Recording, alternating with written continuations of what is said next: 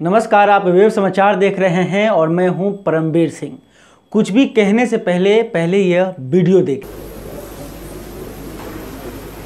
अध्यक्ष महोदय शपथ से पहले मैं संशोधित बात करूँ कि हमें जो राष्ट्रीय कॉपी दी गई है उसमें भारत की जगह पर एक हिंदुस्तान का नहीं लिखा गया है संविधान में भारत के लोग भारत का संविधान होते हैं इसलिए मैं समागत इजाज़त हूँ जो मैं भारत के नाम से उर्दू वीडियो में आपने साफ़ देखा कि एक विधायक जो ए आई एम आई एम के नवनिर्वाचित विधायक हैं, वो हिंदुस्तान बोलने से मना कर रहे हैं। दरअसल मामला यह है कि उर्दू में उन्हें लिखकर शपथ पत्र दिया गया था, जिसमें हिंदुस्तान शब्द का ज़िक्र था, यानी कि अपने भारत देश को उसमें हिंदुस्तान कहा गया था। लेकिन अवैसी के विधायक अख्तरुल ईमान ने हिंदुस्तान बोलने से मना कर दिया। उसके बाद बवाल हुआ। भाजपा के नेता और कई विधायकों ने उन पर बड़े आरोप लगाए और उन्हें पाकिस्तान भेज देने की धमकी भी दी।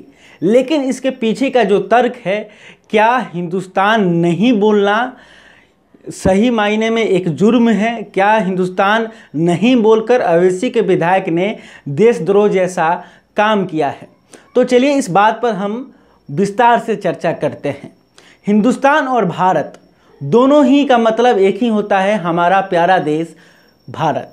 तो मतलब भारत और हिंदुस्तान में अगर अगर नाम की बात देखें तो कोई अंतर नहीं है, दोनों का मतलब भारत ही होता है। लेकिन अगर इसे ठीक नज़र से देखें तो मामला कुछ अलग है। दरअसल जो मोहम्मद जिन्ना थे, जिन्होंने एक अलग देश की मांग की थी और उनकी ही मांग पर पाकिस्तान का निर्माण हुआ था तो वो बार बार कहते थे कि ब्रिटिश इंडिया से अलग होकर दो देश बने हैं। एक का नाम पाकिस्तान है और एक का नाम हिंदुस्तान है, जिसका विरोध कांग्रेस के तमाम बड़े नेता और यहाँ तक कि महात्मा गांधी भी करते थे। उनका कहना था कि हिंदुस्तान शब्द अपने आप में ठीक नहीं है, क्योंकि यह एक अखंड भारत है और अखंड भारत में से एक अलग होकर एक पाकिस्तान देश बना है, बल्कि ब्रिटिश इंडिया से अलग होकर दो देश नहीं बने हैं, अखंड भारत से अलग होकर एक पाकिस्तान देश बना है।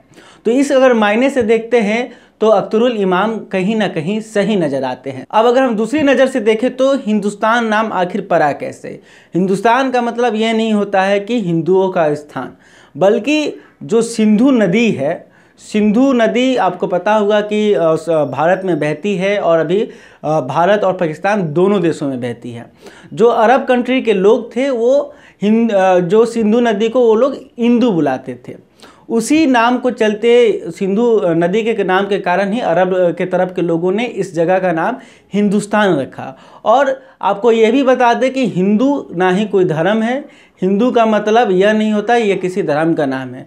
जबकि सनातन धर्म होता है और हिंदू धर्म इसलिए इसको बोला गया क्योंकि सिंधु नदी के आसपास के इलाकों में जो लोग रहते थे, जिस धर्म की मान्यता थी, इसको अरब वाले लोग हिंदू कहते थे। लोग, यहाँ पे जो निवास करते थे, उसे हिंदू कहा जाता था। तो कहीं ना कहीं अख्तरुल इमाम, जो अवेसी के विधायक है, उनका कहना सही है, हमको हिंदुस्तान, पाकिस्तान में नहीं बटना है, बल्कि हम लोग भारत के लोग हैं, इंडियन लोग हैं तो यह हम कह सकते हैं कि अख्तरुल इमाम कहीं ना कहीं अपने आ, अपने हिसाब से वो सही है। हिंदुस्तान और पाकिस्तान के मामले पर नेहरू और पटेल का कहना था कि यह दोनों देश एक टुकड़ा है बल्कि दो टुकड़े नहीं हैं। हमने इस टुकड़े का नाम भारत रखा है।